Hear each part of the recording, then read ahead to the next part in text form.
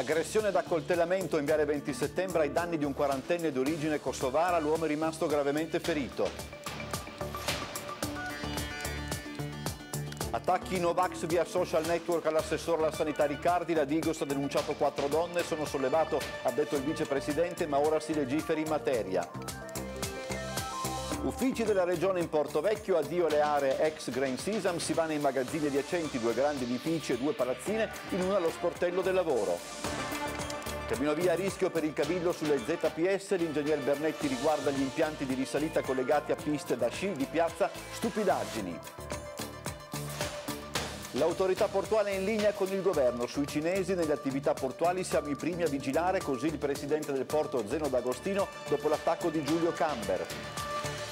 Presentata l'edizione 54 della Barcolana, via le iscrizioni con gli speciali sconti per chi le formalizza subito, sarà l'anno del grande ritorno dei concerti. Con l'attuale aumento medio delle temperature per l'Italia si profila un futuro subdesertico, così il climatologo Filippo Giorgi.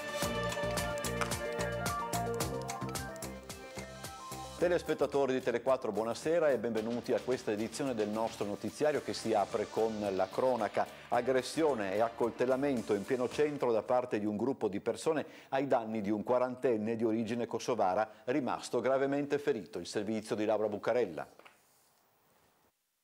Aggredito da più persone e accoltellato in centro nella parte alta del viale 20 settembre. Un quarantenne di origine kosovara è finito ieri sera in ospedale a Cattinara con ferite gravi riportate nell'episodio violento sul quale la polizia con la squadra mobile sta indagando a 360 gradi.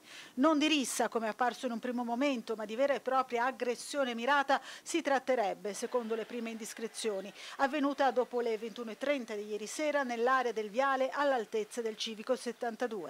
Oltre all'arma da taglio che ha ferito il quarantenne, probabilmente un coltello o un taglierino, sarebbero comparsi anche alcuni bastoni usati dal comando per quella che potrebbe essere una sorta di spedizione punitiva nell'ambito di un regolamento di conti, anche se, come detto, tutte le ipotesi sono ancora aperte. L'uomo è stato soccorso dai sanitari del 118 giunti sul posto e immediatamente trasportato all'ospedale di Cattinara, dove tuttora è ricoverato in condizioni gravi ma non in pericolo di vita. Sul posto posto è intervenuta anche la polizia che ora sta portando avanti le indagini sentendo anche alcuni testimoni. Non è chiaro se ci sia qualche video delle telecamere in zona che potrebbe far chiarezza sull'accaduto. Di certo l'episodio inquieta i residenti della zona del Viale. Social fuori controllo, Parlamento eh, metta a mano, chiedo scusa, ho sbagliato, questo è il servizio eh, successivo.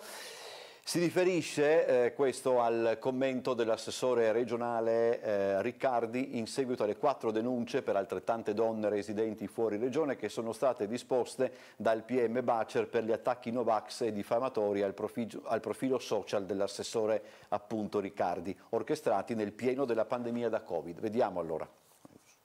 Diffamazione, danneggiamento di informazioni, dati e programmi informatici, questi reati di cui dovranno rispondere quattro donne italiane di età compresa fra i 40 e i 60 anni, tutte residenti fuori regione, che avevano attaccato con contenuti Novax il profilo Facebook dell'assessore regionale alla sanità Riccardo Riccardi. La vicenda risale al 13 maggio dell'anno scorso, quando il vicepresidente del Friuli Venezia Giulia aveva presentato una querela per diffamazione negli uffici della Digos della Questura di Trieste in merito ai numerosi post che denigravano la campagna vaccinale anti-Covid sul profilo social di Riccardi. L'enorme mole di commenti arrivava da un gruppo di persone nel cui logo del nickname appariva la sigla WW, con chiaro riferimento all'appartenenza ad un gruppo esplicitamente Novax. Grazie ad un elenco di profili ricevuti dalla segreteria dell'assessore, la Digos si è messa all'opera per intercettare i mandanti dell'attacco informatico realizzato con la tecnica del mail bombing attraverso dei profili che sono sono stati identificati come fasulli dagli investigatori. Nonostante ciò la polizia è riuscita a risalire, grazie alle poche tracce informatiche lasciate dagli autori del gesto, ai responsabili della campagna denigratoria, nonostante l'importante lasso temporale trascorso dai fatti. Da qui le denunce partite sotto il coordinamento del PM Cristina Bacer. E adesso appunto il commento dell'assessore Riccardi che commenta Amaro, social fuori controllo, il Parlamento metta mano. È inaccettabile pensare di dover subire le cose che ho subito io, che abbiamo subito in tanti, e mi auguro che ci siano anche delle penne esemplari. Se dovesse arrivare anche qualche risarcimento, dico fin da adesso che quel risarcimento andrà in beneficenza. Il vicepresidente della regione, assessore alla salute Riccardo Riccardi, accoglie con soddisfazione le denunce spiccate a carico di chi lo aveva attaccato via Facebook in seguito alle sue posizioni in merito alla campagna vaccinale. Una soddisfazione che da un lato non nasconde un disagio piuttosto profondo. Non lo dico tanto per me, ma quanto per tutte le persone che lavorano con me, che vivono vicino a me. No, non è piacevole ricevere delle minacce di morte con tutto quello che poi alla fine abbiamo letto. Il vicepresidente poi sottolinea un ulteriore aspetto della faccenda spostando l'attenzione sui social da cui le minacce nei suoi confronti sono partite. Strumenti che secondo me devono avere comunque la necessità di individuare delle regole. Io mi auguro che il Parlamento intervenga in questo. Non è possibile consentire a delle persone eh, di avvelenare i pozzi eh, di creare tensioni com- come, come, è stato insomma, in questo caso. In chiusura comunque Riccardi tiene a sottolineare come un certo clima non sia affatto cessato. Il Presidente della Regione Federica che non è libero di prendere i suoi bambini e di fare qualche passeggiata in maniera normale e lo può fare soltanto se è scortato dalla polizia. Noi facciamo il nostro lavoro con le convinzioni, con serietà, con impegno, non siamo infallibili, nessuno pensa di avere la verità in tasca, eh, se qualcuno pensa di avere delle opinioni diverse lo deve esprimere in un modo civile. Le sedi degli uffici della Regione Friuli Venezia Giulia non verranno dislocate negli ex magazzini Green Sesam del Porto Vecchio, ma in altri edifici adiacenti, sempre all'interno dell'antico scalo asburgico, andando a creare quello che il governatore Federica ha definito un quadrilatero regionale.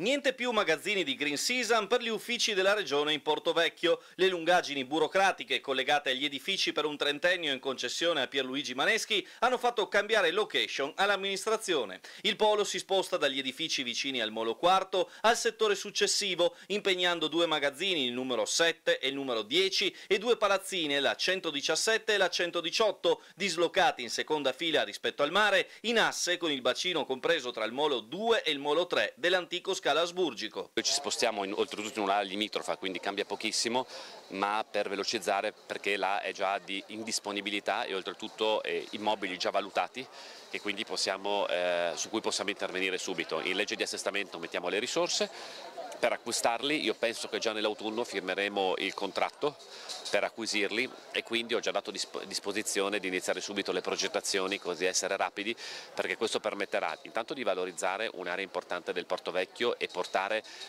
persone a viverlo.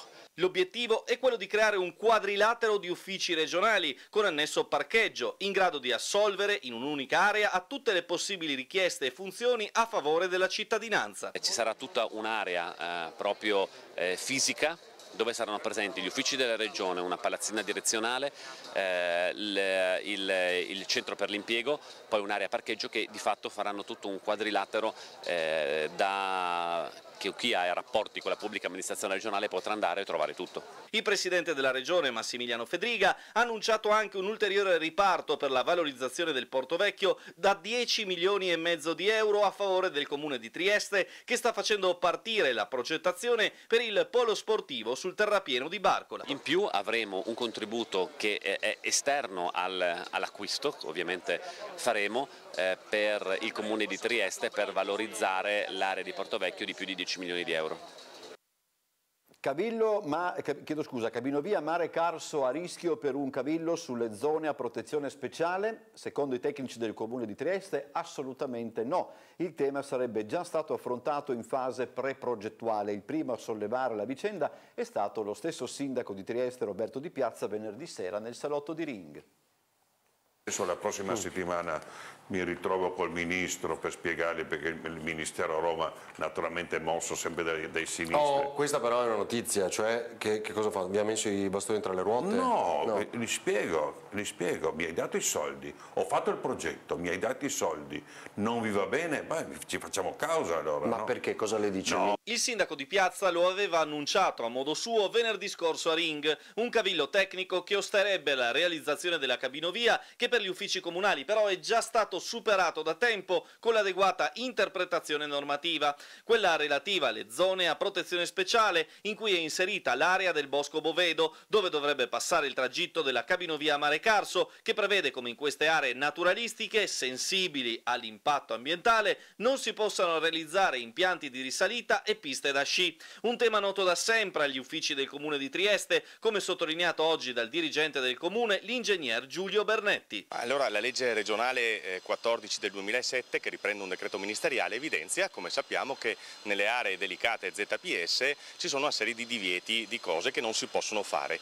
Tra i vari eh, divieti eh, c'è la realizzazione di impianti di risalita e piste da sci, è proprio un, un unico comma messi assieme che evidenzia questa cosa.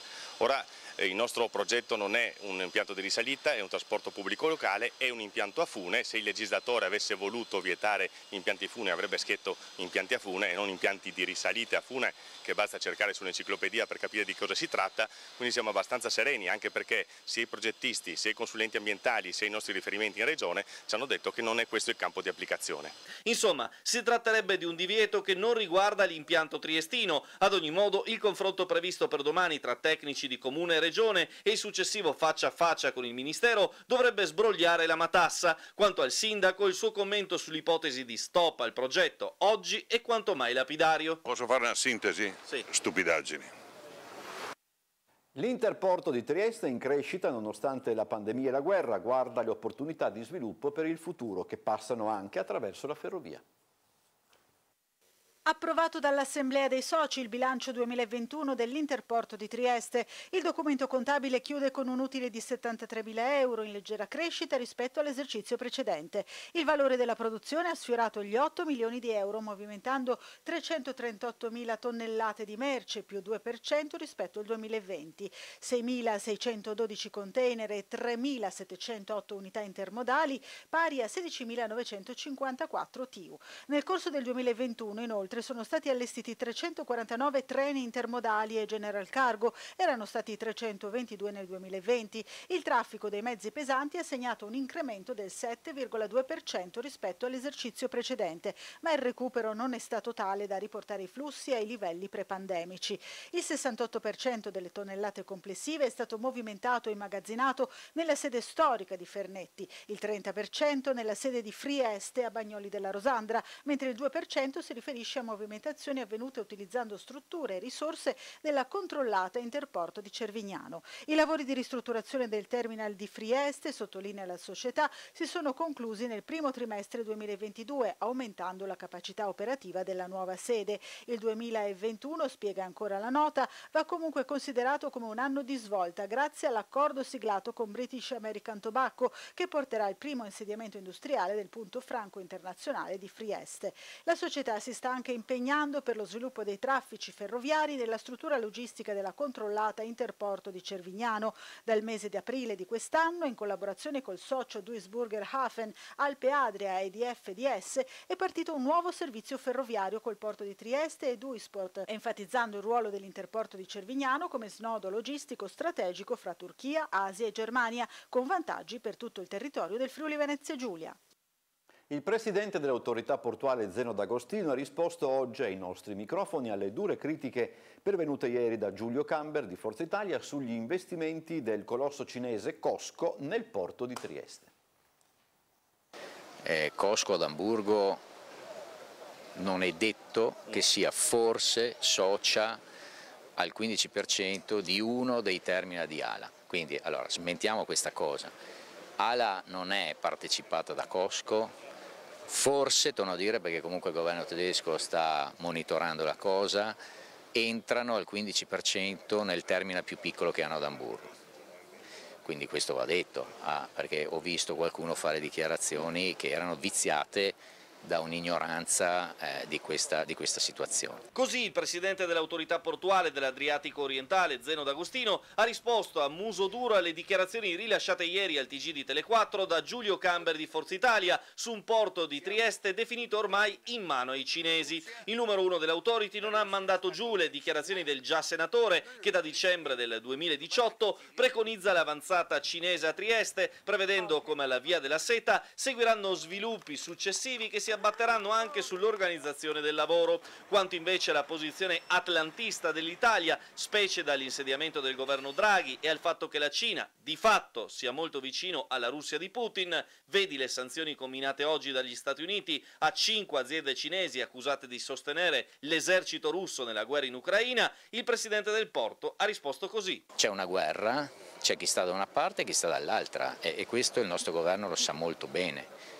L'autorità portuale è lo Stato ed è chiaro che lo Stato non va a fare nessun tipo di accordi con soggetti che in questo momento sembrano stare dalla parte opposta rispetto alla nostra. Dico sembrano perché chiaramente posizioni ufficiali non ci sono, ma è chiaro che però sappiamo benissimo da che, da che parte sta l'Italia e l'Italia e il governo significa anche l'autorità. Quindi non stiamo parlando di investimenti, stiamo parlando di 4 treni su 250 e sono merci che passano dal nostro porto. Quindi noi seguiamo la linea totale del nostro governo, la linea che sembra essere, e non ho eh, ipotesi per pensarla diversamente, atlantista e da questo punto di vista l'autorità di sistema vigila e quindi se qualcuno ha qualche preoccupazione stia tranquillo che abbiamo più informazioni di chiunque altro per poter vigilare meglio di chiunque altro su queste cose. Oggi in Friuli Venezia Giulia su un totale di 6.556 test e tamponi sono state riscontrate 1.382 positività al coronavirus. Le persone ricoverate in terapia intensiva sono 7, una in meno rispetto a ieri, mentre i pazienti ospedalizzati in altri reparti sono 155, 4 in meno rispetto a ieri e non si registrano decessi. Ci fermiamo per la pubblicità, poi torniamo con ancora molti servizi. Entriamo in studio, al via le iscrizioni alla 54esima edizione della Barcolana, la regata velica più partecipata al mondo, in programma a Trieste domenica 9 ottobre. Prima dell'evento clou, una settimana di kermesse dedicata al mare, alla letteratura, alla vela, con il ritorno dei grandi concerti.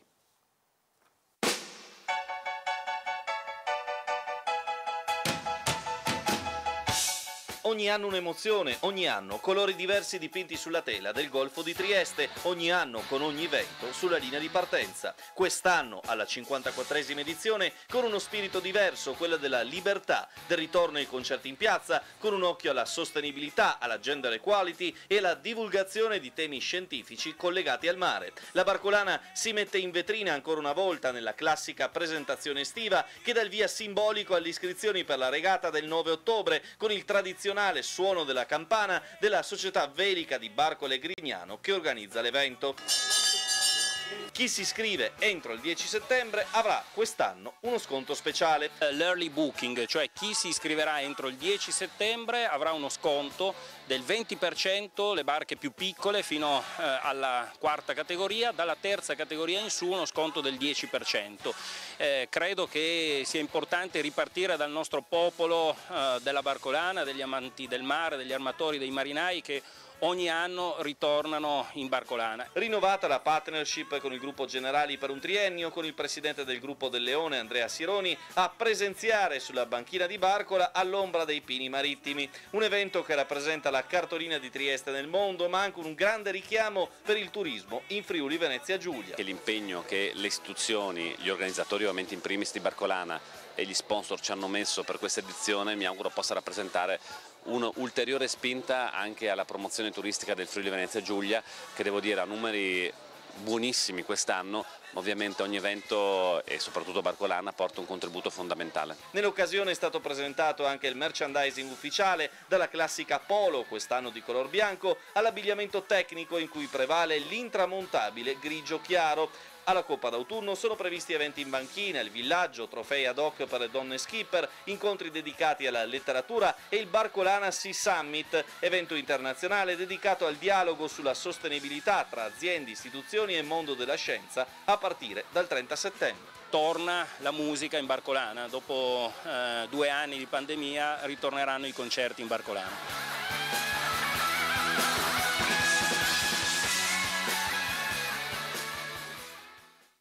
In una nota Allianz Pallacanestro Trieste ha comunicato di aver raggiunto un accordo per la stagione sportiva 2022-2023 con l'atleta Andrew Joseph A.J. Pacher. Nato a Vandalia, nell'Ohio, il 17 febbraio del 1992, lungo di 208 cm per 100 kg di peso, che può ricoprire tanto il ruolo di centro quanto quello di ala forte, grazie ad una mano educata anche dalla lunga distanza, AJ, si legge nella nota, è un prodotto cestistico dei Raiders di Wright State University, dove ha, dove ha militato per quattro stagioni nella Division First della NCAA.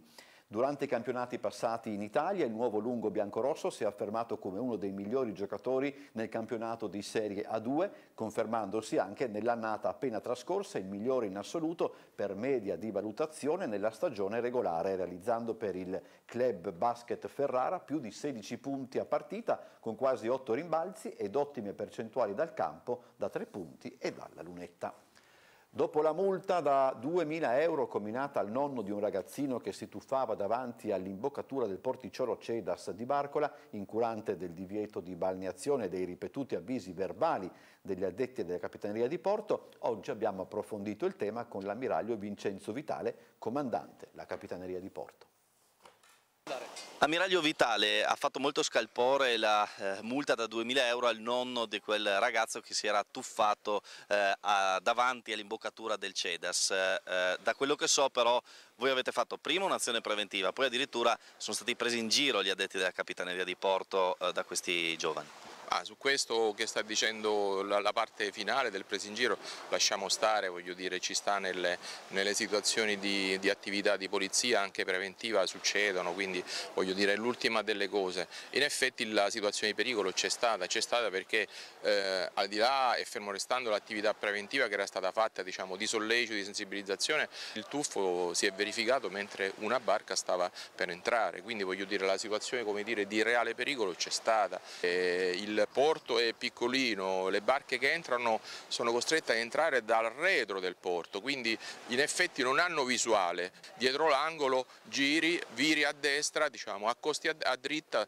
eh, eh, accosti a dritta e ti ritrovi invece quello che si tuffa e poi addirittura insomma, puoi creare veramente un, un, incidente che può essere anche mortale. Ma metteremo anche eh, il, la sanzione diciamo, nei cartelli perché non è indicata, domani mattina abbiamo un incontro incontro con l'amministrazione comunale e con CEDAS proprio diciamo, per andare a a, cercare di regolare meglio la situazione dove c'è un provvedimento eh, nostro del 2003 che tuttavia diciamo, è un provvedimento efficace perché in effetti diciamo, fotografa la situazione di fatto e ha un divieto assoluto.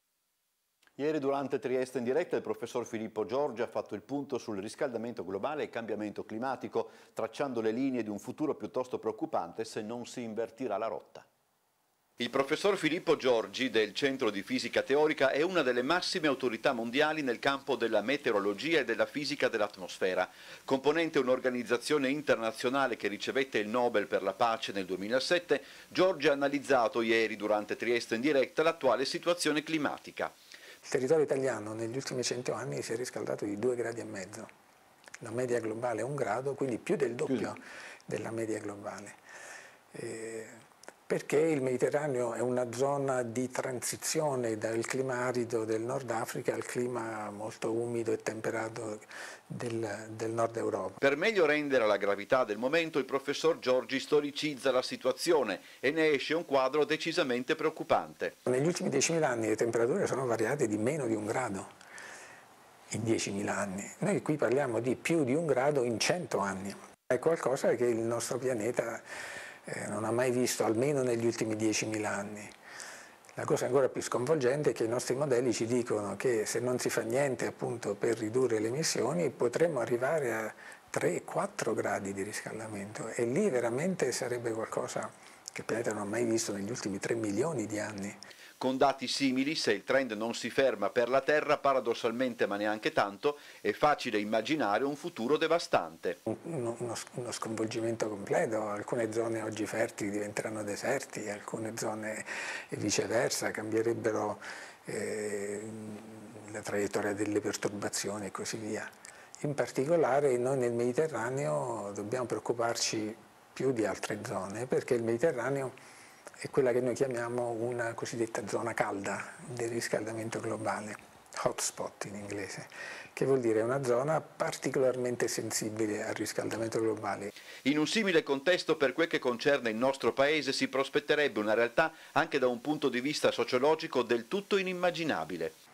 Abbiamo fatto un piccolo giochino, abbiamo visto che il clima della terra, del, dell'Italia per fine secolo, sempre negli scenari cosiddetti business as usual, in cui potrebbe essere simile a quello che oggi c'è in Libia piuttosto che in Algeria o, o in Chad, insomma c'è un clima semidesertico. Adesso pensiamo chi sono oggi i migranti, vengono da lì, chi possono essere i migranti del futuro, eh, potrebbero essere i nostri figli, i nostri nipoti, quindi che, che potrebbero cercare zone più, più, favorevoli come hanno fatto le civiltà per, per millenni. Secondo il professor Giorgi il tempo per agire c'è ancora, non molto va detto, a patto che non se ne perda insistendo su fonti di energia già obsolete come il nucleare, che a suo dire non dovrebbe essere perseguita neppure nella forma di nuova generazione. Ieri, ehm, eh, no, chiedo scusa, Oggi è un po' così. È stato presentato stamani il cartellone estivo dell'Armonia che parte già sabato 2 luglio. L'Associazione delle Compagnie Amatoriali ha rinnovato il direttivo, c'è un nuovo presidente. Il, il, dialetto triestino è uno dei valori della nostra comunità e, e il Comune di Trieste è ben lieto di essere a fianco dell'armonia per eh, diciamo, ehm, creare le condizioni per proporre degli spettacoli eh, non solo durante la stagione invernale ma anche durante i momenti estivi e anche in luoghi eh, della città, eh, non solo in centro ma anche nelle, nelle, nelle zone decentrate. Così l'assessore comunale ai teatri Serena Tonella, margine della presentazione della stagione estiva dell'Armonia che prenderà il via già sabato prossimo 2 luglio. Sei gli spettacoli già presentati nel corso della stagione ufficiale da poco conclusasi per 11 appuntamenti. Si parte con Una mora a bassa pressione per proseguire con Mi, Ti e l'Antrios, Sussidio Caschime in bocca, unico spettacolo ad essere proposto in una sola replica, Casalinghe disperade, Demepase per chiudere con El Zogo delle Tre Porte. Per questo cartellone estivo l'Armonia torna al Parco di San Giovanni. Gli spettacoli si terranno all'aperto al Teatro Franco e Franca Basaglia, all'interno del teatro in caso di maltempo. Per l'associazione fra le compagnie amatoriali non sarà l'unico appuntamento estivo. Allora, avremo tanti appuntamenti in giro per la regione, come sempre, ci hanno invitato un po' dappertutto e noi, noi ci saremo come, come sempre. La presentazione di Restate in Armonia è stata anche l'occasione per la prima uscita di Paolo Dalfovo quale nuovo presidente dell'associazione. Voglio veramente ringraziare Giuliano Zanier, presidente per tanti anni, che ha fatto un lavoro straordinario, ma non solo lui, tante persone che sono uscite dal consiglio direttivo, ma in realtà sono sempre presenti a dare una mano all'armonia. Dal Fovo, inaugurando un corso nuovo che c'è da scommettere seguirà una tradizione collaudatissima, così sintetizza il segreto dell'armonia, da anni una vera e propria macchina da guerra della leggerezza, se ci è consentito l'ossimoro. Ma la semplicità forse, il portare un teatro popolare, un portare un teatro semplice, eh, con ogni tanto qualche piccola chicchettina di, di, di, di novità, di, contemporaneità, però rimanendo sempre fermi al dialetto e alla tradizione. Rievocazioni storiche da luglio a settembre promosse dal Comune, tornano le manifestazioni Le Stagioni delle Armi e Legiomania. Tornano dopo il successo delle passate edizioni le rievocazioni storiche promosse dall'assessorato alla cultura e turismo del comune tra il castello di San Giusto e il museo Winkelmann. Si comincia con le stagioni delle armi, giunta alla terza edizione, in programma nei fine settimana di luglio e agosto. Ognuna delle 18 rievocazioni prevede la presenza di almeno 8 figuranti preparati per le spiegazioni al pubblico, quest'anno su quattro percorsi interni ed esterni al castello di San Giusto. Sono due cose che abbiamo sperimentato negli anni precedenti Uniti, che ha avuto successo anche se c'era un po' la pandemia, quest'anno saremo più liberi. La stagione delle armi sono delle iniziative che facciamo qui in Castello, che avranno una quindicina di rappresentazioni il sabato e domenica su quelli che sono stati eh, gli usi e i costumi di questo castello, in particolare di quelli che hanno abitato qui e lo hanno custodito. Alle visite guidate di un'ora si accede con il normale biglietto d'ingresso al castello. Per Legiomania il Civico Museo di Antichità Winkelmann ospiterà anche quest'anno quest'anno la Legio Italica con i suoi appassionati rievocatori in costume e gli atleti di Ars di Micandi dal 23 al 25 settembre nella Oasi Verde del Giardino del Capitano. E poi abbiamo la Reggio Mania che lo, la faremo al Winkelmann, che è un'iniziativa di grande attrazione soprattutto per i bambini, in cui eh, un'associazione che cura questo eh, si presterà per attività didattica e non solo, quindi ci sarà una grande affluenza, mi auguro, come negli anni precedenti. Un'ultima cosa, che forse la cosa a cui tengo maggiormente, mm, settembre-ottobre, dopo che avremo concluso queste iniziative, mm, ci sarà una presenza di figuranti nel Castello di San Giusto. Prima di salutarvi vi ricordo un appuntamento che andrà in onda alle 21, Galileo's Journey, uno spettacolo musicale ma non solo, che vede l'organizzazione del Conservatorio Tartini. Quindi ricordatevi questo appuntamento, Galileo's Journey alle ore 21. Grazie a tutti, appuntamento domani come sempre con Sveglia Trieste. Buon appuntamento di serata e arrivederci.